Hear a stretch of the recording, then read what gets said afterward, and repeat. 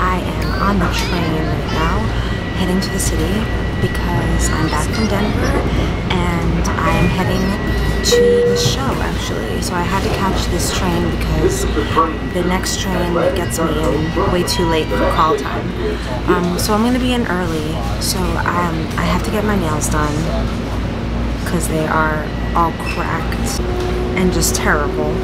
And I have an audition tomorrow already, so I need to make sure I look on point for that audition, and that includes getting my nails done because I just feel, I just don't feel complete if my nails aren't like looking fresh and great.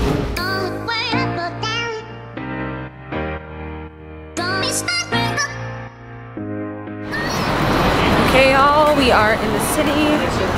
Well, I'm in the city, you're not, but you're here with me. And we are heading to get my nails done. And I really hope that they can do it quickly because I don't have that much time. So, I have to somehow get my nails done, get food, and get to call. So while I'm walking to get my nails done, I will update you guys on a couple things. So, one, my show, Women on Fire, that I'm doing right now off Broadway, was extended again. So we are extended until June 8th. So maybe if I edit these videos in time, if you're in the, the New York area, you can actually come and see it. And um, yeah, so we're going to be performing June 6th, 7th, and 8th as well.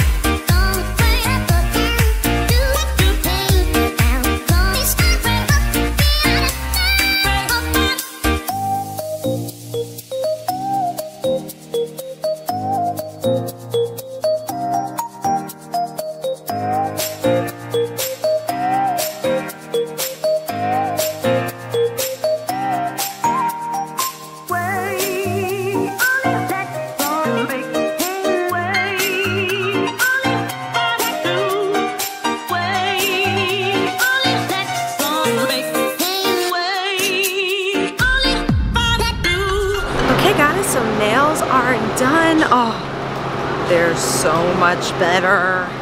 And now I am going to go grab some food super quickly and then head to call. I think I'm gonna grab some poke for this light, not too heavy.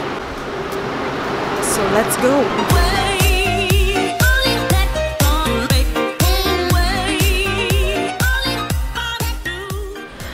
Guys, I'm here at the show, signed in, got ready, makeup, hair, earrings, costume, ready to go.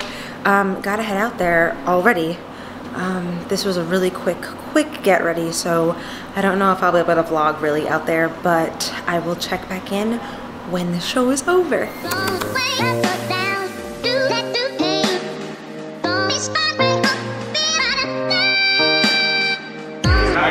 Okay, guys, so Estelle Parsons actually came to our show, and that was really cool.